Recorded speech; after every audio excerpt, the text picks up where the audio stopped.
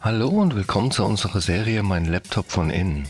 Hier möchte ich euch in einem schnellen Überblick zeigen, wie ihr den Akku tauscht und wie ihr an die wichtigsten Komponenten herankommt, wie SSD, RAM, Lüfter. Ich zeige euch dabei das Innenleben des Laptops. Ich zeige euch auch, was es an Tipps und Tricks noch gibt, was ihr vielleicht beachten müsst. Und dass es im Grunde genommen nicht so schwer ist, einen Laptop aufzuschrauben und an die einzelnen Komponenten heranzukommen. Legen wir los.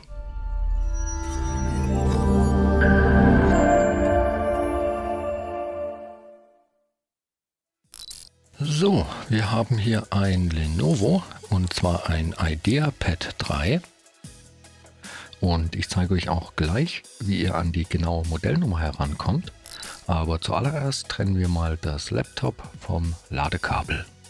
Die genaue Modellnummer findet man bei diesem Laptop auf der Rückseite. Leider fehlt gerade bei diesem Gerät jetzt hier der zweite Aufkleber und ich kann euch das nicht zeigen. Bei diesem Modell ist es übrigens so, dass man das Display zwar einzeln tauschen kann, aber man so schlecht da rankommt, dass man trotzdem die ganze Einheit abbauen muss, bevor man es tauschen kann. Die Tastatur und das Touchpad kommen zusammen mit dem Topcase und dafür muss man dann alles aus dem Gehäuse nehmen.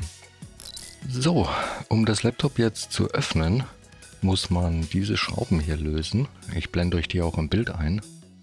Und da gibt es eigentlich nur zu beachten, dass diese Schrauben hier etwas kürzer sind.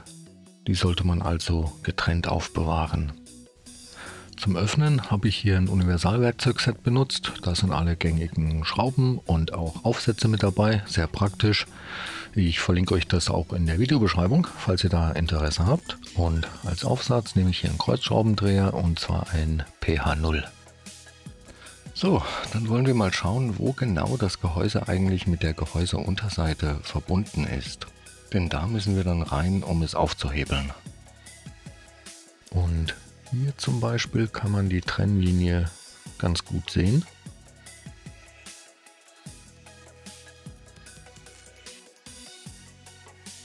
Und auch hier erkennt man ziemlich gut, wo die Verbindungslinie zwischen Gehäuse und Gehäuseunterseite verläuft.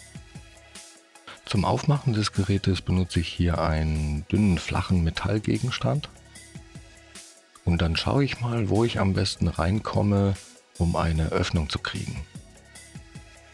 In dem Fall fange ich jetzt mal auf der Geräterückseite an. Und dann versuche ich die Gehäuseunterseite ein bisschen nach oben zu hebeln. Äh, mit ein bisschen Wackeln und hin und her rutschen funktioniert das immer ganz gut. Und ja, das laute Knacken gehört dazu. Das ist einfach, wenn die Unterseite aus den Einraststellen äh, gelöst wird. Dann knackt und knirscht das manchmal, das ist aber normal. Da braucht man keine Angst zu haben, was kaputt zu machen. Wenn es irgendwie gar nicht geht, dann nicht mit Gewalt. Lieber nochmal schauen, ob alle Schrauben raus sind oder ob man da vielleicht vergessen hat, eine zu lösen. Und ja, dann kann man eigentlich auch schon mit der Hand meistens drunter fassen und das mit ein bisschen Rütteln und hin und her bewegen ähm, einfach abziehen.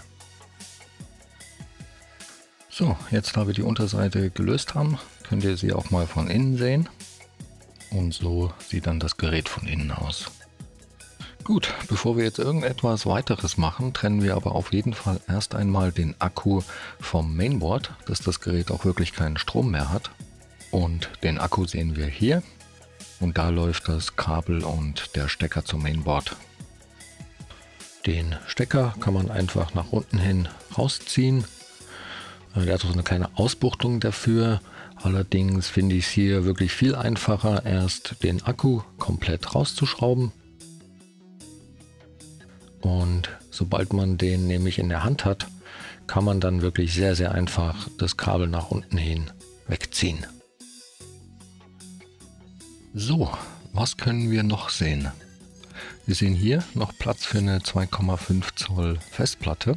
Die würde dann über einen Adapter hier mit dem Mainboard verbunden werden, wobei man das Adapterkabel oder Set extra dazu kaufen muss.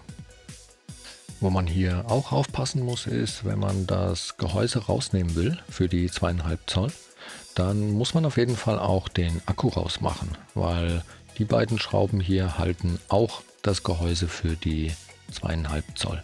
neben diesen beiden Schrauben hier natürlich. So, hier sehen wir den RAM-Riegel. Direkt daneben ist der aufgelötete RAM. Da sehen wir die SSD unter so einer kleinen Kühlabdeckung.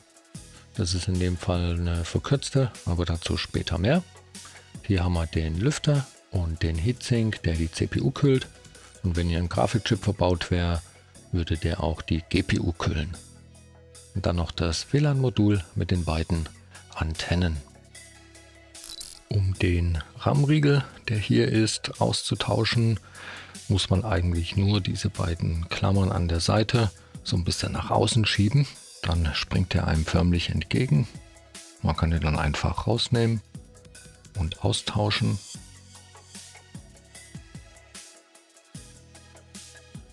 Beim Wiedereinbau steckt man den einfach genauso wieder rein und drückt den nach unten, bis die Klammern wieder einrasten. Hier sehen wir die SSD. Das ist in dem Fall eine verkürzte SSD. Da passt aber auch ähm, eine ganz normale längere rein. Und ja, um die auszutauschen, müsste man nur die Schrauben hier lösen. In dem Fall jetzt die eine. Dann kann man die leicht nach oben aus dem Slot nehmen. Dann will ich euch hier noch schnell zeigen. Ähm, hier sieht man die Abdeckung. Die ist quasi hier drauf geschraubt. Und wenn man jetzt da eine verlängerte oder eine normal große SSD reinbauen will, muss man eben diesen Abstandshalter hier hinten drauf befestigen.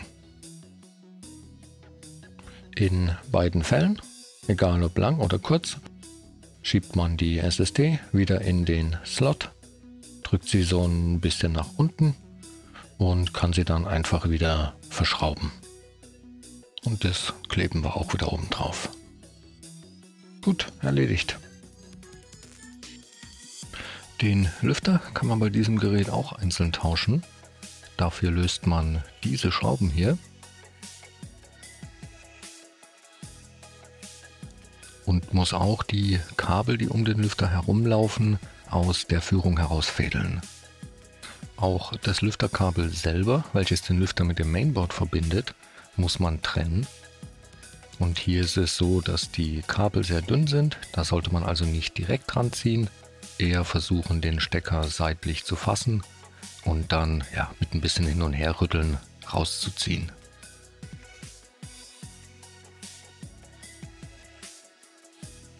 Sind die Schrauben dann entfernt und alle möglichen Kabel aus der Führung draußen, kann man den Lüfter einfach aus dem Gehäuse nehmen und gegebenenfalls durch einen neuen ersetzen. Der Einbau funktioniert jetzt in umgekehrter Reihenfolge genauso wie der Ausbau. Das ja, Einzige, was jetzt hier passiert ist, dass eben die beiden Antennen von dem WLAN-Modul abgegangen sind. Und das ist auch nicht so ungewöhnlich. Die sind nämlich relativ locker da hinten einfach drauf gesteckt. Die kann man jetzt einfach wieder äh, mit ein bisschen Geduld da hinten drauf stecken. Sind auch beschriftet hell und dunkel, also weiß und schwarz. Und ich persönlich mache es so, ich nehme mir eine Pinzette dazu, dass ich die einigermaßen gut greifen kann und drücke die dann von oben äh, wieder auf die Steckverbindung. Und ja, das ist manchmal ein bisschen fummelig, aber zum Glück habe ich hier den Schnelldurchlauf. Ja, und wenn alle Kabel dann wieder richtig sitzen und in der Führung drin sind, kann man den verschrauben. Ganz am Ende natürlich auch super wichtig, nicht vergessen das Lüfterkabel selber wieder mit dem Mainboard zu verbinden. So, den Akku können wir jetzt einfach wieder in das Gerät zurücklegen und in dem Fall stecke ich jetzt erst das Kabel wieder dran, einfach weil man da wirklich viel mehr Platz hat, um das richtig reinzudrücken. Und danach kann man den Akku auf die Gewinde drauflegen. Das ist passgenau, da gibt es nicht so viele Möglichkeiten. Und ja, dann wird er einfach wieder verschraubt und dann hat man das erledigt. So, die Gehäuseunterseite wird jetzt einfach wieder drauf gedrückt. Und ja, da kann man ruhig ein bisschen äh, kräftig alle Stellen wirklich zudrücken. Äh, auch in der Mitte Man hört das auch immer sehr gut, wie alles wieder einrastet. Ich gehe dann am Ende auch immer einmal um das Gerät herum und schaue, dass wirklich nirgendwo mehr eine Öffnung zu sehen ist. Ja, und dann einfach wieder zuschrauben. Und ja, so schnell ging das. So, das war es auch schon wieder für dieses Modell. Wenn ihr noch Fragen oder Anregungen habt, lasst uns gerne einen Kommentar da. Und ja, ich hoffe, das Video hat euch weitergeholfen und ich wünsche euch viel Spaß beim Schrauben. Bis zum nächsten Mal. Ciao.